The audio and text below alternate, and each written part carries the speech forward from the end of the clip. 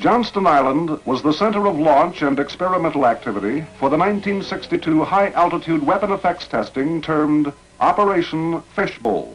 At the northwestern end of the island was the Thor Launch Complex, joined later by Nike Hercules and Strypi units, plus a second Thor pad. On Operation Fishbowl, nuclear detonations rent the sky five times over the Johnston Island.